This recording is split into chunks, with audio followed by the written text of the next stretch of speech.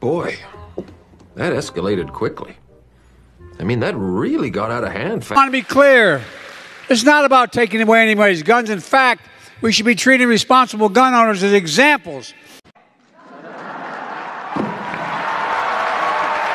How every gun owner should behave.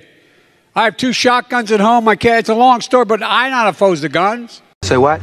I have two shotguns at home. My cat, it's a long story, but I'm not opposed the guns. I'm not opposed the guns. I'm not opposed the guns.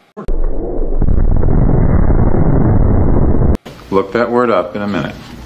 Republicans in Congress have already introduced legislation to ban a national ban on the right to choose.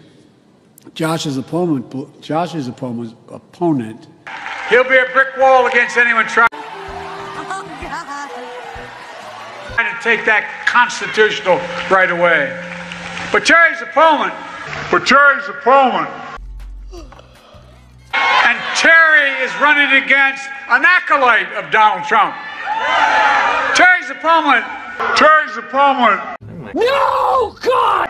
Um, but I, I really don't know. I've never decided to run or not run based on who the opponent will be. based on who the opponent will. be. 90% of the time, I have no idea what the fuck I'm talking about.